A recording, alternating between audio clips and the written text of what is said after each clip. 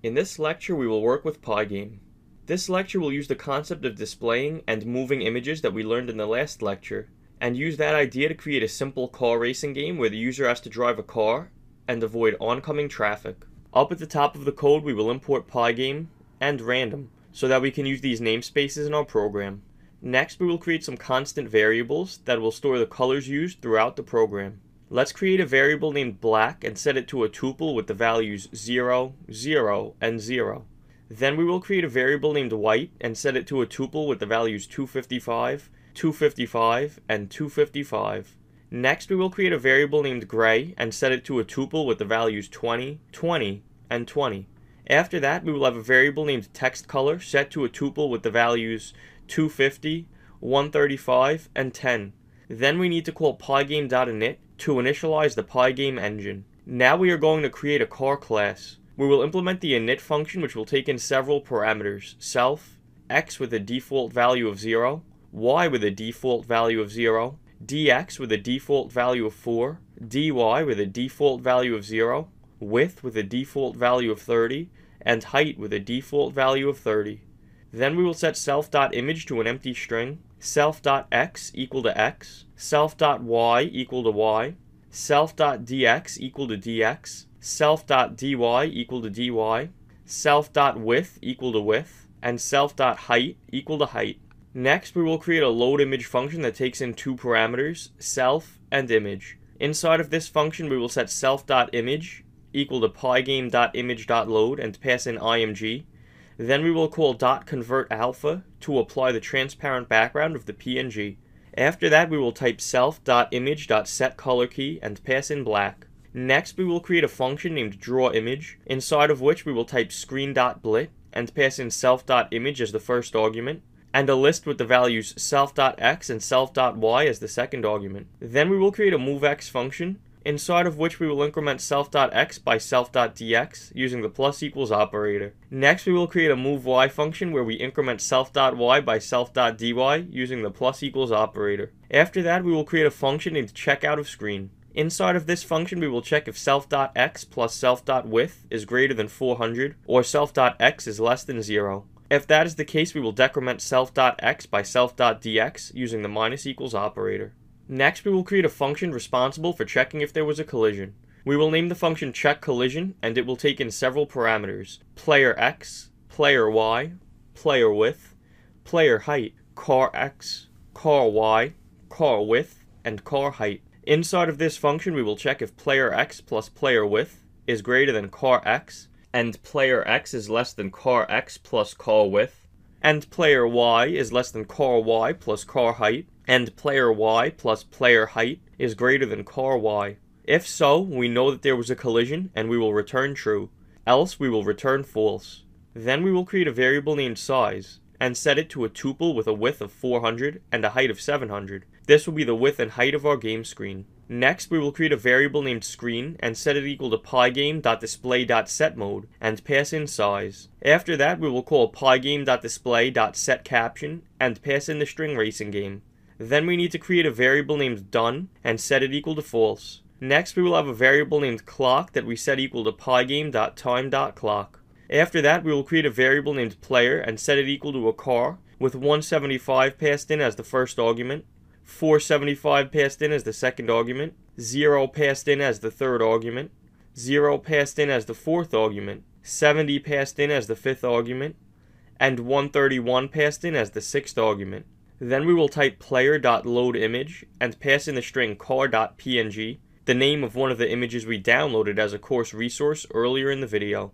After that, we will set player.image equal to pygame.transform.scale and pass in playerImage as the first argument and a tuple with the values 130, 150 passed in as the second argument. This is so that we can scale the player car down to have a width of 130 and a height of 150. Next, we will create a variable named collision which we set equal to true and the score variable that we set equal to 0. Then we will create a variable named font40 and set it equal to pygame.font.sysfont with the string Arial passed in as the first argument, 40 passed in as the second argument, true passed in as the third argument, and false passed in as the fourth argument.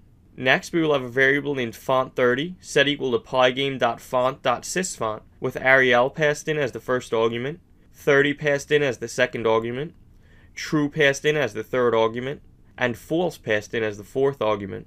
Next, we will create a variable named text title and set it equal to font40.render and pass in the string racing game as the first argument, true as the second argument, and text color as the third argument. Then we will create a variable named textInt that we will set equal to font30.render and pass in the string click to start as the first argument, true as the second argument, and text color as the third argument. After that, we will create a function named drawMainMenu. Inside of this function, we will type screen.blit and pass in text title as the first argument, and an array with size at index 0 divided by 2 minus 106, and size at index 1 divided by 2 minus 100.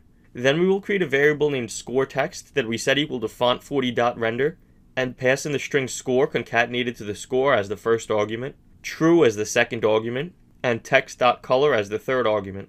Next, we will call screen.blit and pass in score text as the first argument, a list with size at index 0 divided by 2 minus 70 as the first item, and size at index 1 divided by 2 minus 30 as the second item. After that, we will type screen.blit and pass in text ints as the first argument, and an array with size at index 0 divided by 2 minus 85 as the first item, and size at index 1 divided by 2 plus 40 as the second item.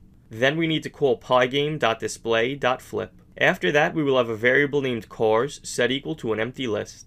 Then we will have a variable named car count set equal to 2. Let's create a for loop for i in range car count. Inside of the for loop, we will have a variable named x set equal to random.randrange with 0 passed in as the first argument and 340 passed in as the second argument. Then we need a variable named car set to a car object with x passed in as the first argument, random.randrange, negative 150 to negative 50 passed in as the second argument, 0 passed in as the third argument, random.randint, 5, comma 10 passed in as the fourth argument, 60 passed in as the fifth argument, and 60 passed in as the sixth argument. Then we will type car.loadImage and pass in the string enemycar.png. Next, we will set carImage equal to pygame.transform.scale and pass in carImage as the first argument, and a tuple with the values 130 and 150 passed in as the second argument. After that, we will add the car to the cars list by typing cars.append and passing in car.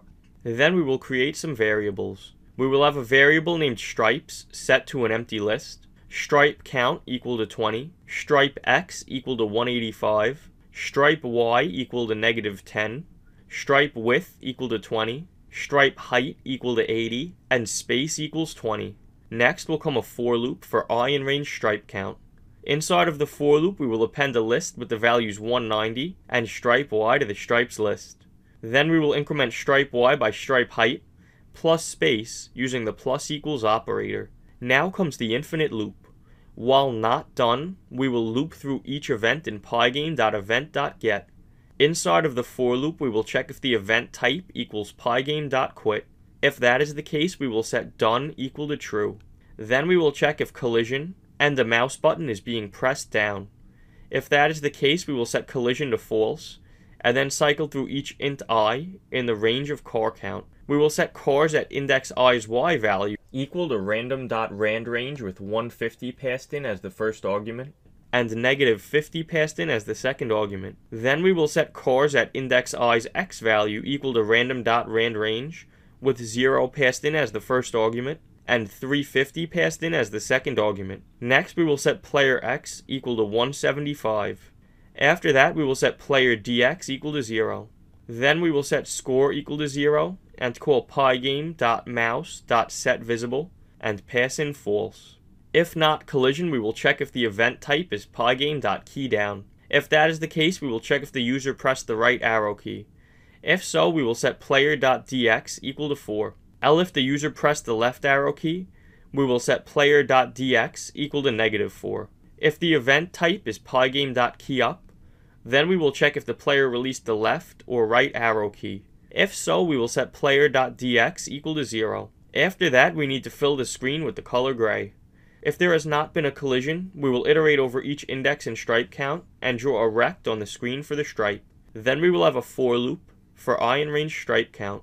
Inside of this for loop, we will increment stripes at index i at index 1 by 3 using the plus equals operator. Next, we will have an if statement that checks if stripes at index i at index 1 is greater than size at index 1. Inside of this if statement, we will set stripes at index i and 1 equal to negative 40 minus stripe height. After that, we will call player.drawImage to render the player car to the screen. Then we will call player.moveX to move the player. Finally, we will call player.checkOutOfScreen and check if the player's X position has crossed out of the bounds of the screen. After that, we will iterate over each index i in range car count using a for loop. Inside of this loop, we will call cars at index i dot draw image. Then we will increment cars at index i's y position by cars at index i's dy value. After that, we will check if car at index i's y value is greater than size at index 1. If so, we will increment the score by 10 set cars at index i's y value to a random number between negative 150 and negative 50, set its x value to a random number between 0 and 340, and set its dy value to a random number between 4 and 9. For i in range car count, we will check if there is a collision between two cars. By typing if check collision and passing in player x as the first argument, player y as the second argument, player width as the third argument, player height as the fourth argument, cars at index i dot x as the fifth argument, cars at index i dot y as the sixth argument, cars at index i's width as the seventh argument, and cars at index i's height as the eighth argument. After that, we will set collision to true. Then we will call pygame.mouse.setVisible and pass in true. Next, we will type the break keyword. We will then create a variable named textScore and set it equal to font30.render and pass in the string score concatenated to the score cast to a string as the first argument, true as the second argument, and white as the third argument. Then we will write the text to the screen by typing screen.blit and passing in text score as the first argument, and a list with the values 15, 15 passed in as the second argument. Finally, we will call pygame.display.flip to update the display. Else, we will call our draw main menu function. Since this else statement is for if the player crashed into another car. Outside of the if else statement, we will call clock.tick and pass in a value of 60. At the bottom of the code, we will call pygame.quit. The final step before we run the code is to download both images attached to this lecture as a course resource and drag and drop them into the folder where our Python file is being stored. When we run the code, we can click the screen of the game to start playing. We can move the car left and right to avoid oncoming cars. As time goes on, points are added to the score. Once we crash into a car, the game is over and we are taken back to the start screen. In the next lecture, we will look at a recap of what we learned in this section of the course.